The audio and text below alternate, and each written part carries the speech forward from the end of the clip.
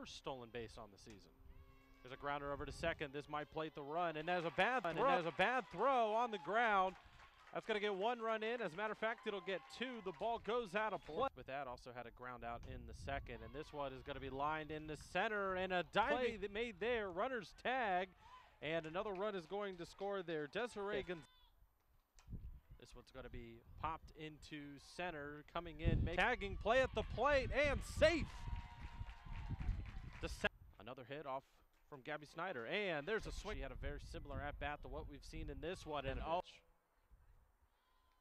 swing and a miss. That's a strikeout. Cash, they've caught some of these aggressive, and she put on the gas with her ERA just to, just above two and a half, and there's a strikeout. Comes the payoff pitch from Cash. And strike three looking